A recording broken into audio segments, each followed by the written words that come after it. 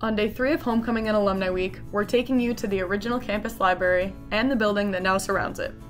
Carnegie Library was named for Andrew Carnegie and was dedicated in 1907.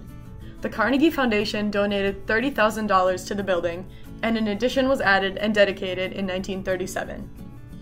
Andrew Carnegie gave over $40 million for the construction of 1,679 libraries throughout the United States and gave away more than $350 million almost 90% of his fortune, to philanthropic causes. The Giddens Learning Center was built around the Carnegie Library to preserve the historic building.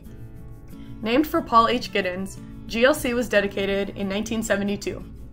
Giddens, who has an honorary doctorate of law from Hamline, began his tenure as university president in 1953. Previously, he was a history professor, curator, and author.